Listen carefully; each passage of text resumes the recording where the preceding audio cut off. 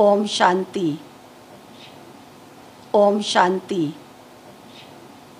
ओम शांति।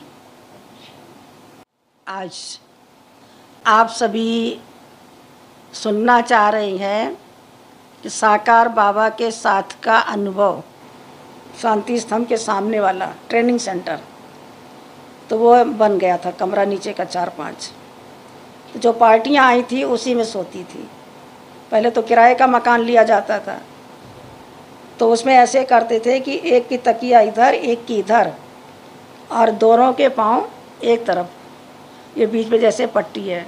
और हर एक अपने सिर के पास ही अपनी अटैची पेटी रखता था। वो जगह नहीं थी कि यहाँ रख ले काउंटर है या तो सिर के नीचे तकिया तकिया के साथ अपनी अटैची पेटी, खड़ी करके खोलना है तो गिरा के खोलो, फिर खड़ी कर दो।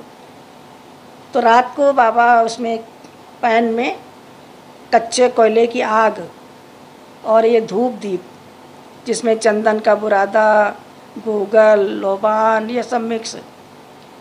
तो बाबा उसको सुलगा के सब जगह धुआँ करते थे कमरे में शुद्धिकरण। तो मुझे ले जाते थे बाबा साथ जाते थे। तो करीब करीब बहुत लोग सोए हुए थे, थे कोई जगे हुए होते थे। तो मैं सारे कमरे में घुमा के फिर निकल आती थी। तो वहाँ ने कहा बच्ची तुमने कुछ चेक किया? मेरा काम था धुआँ देना, मैंने दे दिया धूप दीप। कहा, देखो, ये इनमें से तीन प्रकार के लोग हैं। एक तो तमोगुणी नींद में सो रहे हैं। दूसरा रजोगुणी नींद में सो रहा। और तीसरा सतोगुणी। तो सतो, रजो, तमो तीन की नींद है इसमें। फिर बाबा ने पहचान बताई कि जो सोते समय से लग रहा ना बड़ा सरल चित्त है, निश्चिंत है रिलैक्स है, एक योगी जीवन है, ये सतोगुणी नींद है।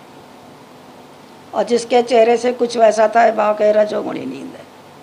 और जिसका सिर एक तरफ़ है, हाथ एक तरफ़ है, टांग दूसरी तरफ़ है। तो वाकई ये पक्का तमोगुणी है। इसके संस्कार तमोगुणी है, इसकी विचारधारा, इसके थॉट्स तमोगुणी है। ये अभी सतोगुण तक नहीं पहुँचा है। तो सतोगुण माना ही सातों सत्य गुण ज्ञान, प्रेम, सुख, शांति, आनंद।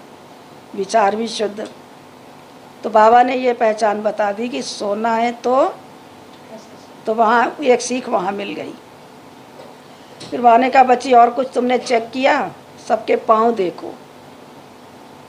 तो किसी के पाँव तो बिल्कुल साफ़। किसी के कम साफ़, किसी का एकदम गंदा तलवे। उनका बच्ची इसका असर मस्तिष्क पे पड़ता है। और ब्राह्मणों के तो चरण का, संतों के तो चरण की महिमा है। कहते आप मेरे घर में आए, अपना चरण घुमाएँ। संतों के चरण धो धो के लोग पीते हैं। तो चरण कमल कहा गया है। तो ये इसका पाँव देखो, में आगे मेरा पाँव गंदा ना होना चाहिए। कुछ भी हो जाए, पाँव को चाहे चार बार साफ़ करना पड़े। तो पाँव के रेखाओं में, तलवे में गंदगी ना हो। वो बाबा ने एक सफ़ाई सिखा दी। कहा, नहीं कि तुम अपने पैर साफ़ करो। लेकिन चूँकि ऐसा है तो धीरे धीरे धीरे धीरे वो भी काम करते रहे। तो एक एक बात, एक एक बात बाबा सिखाते रहे, बताते रहे, घुमाते रहे। सोना है तो कैसे, उठना है तो कैसे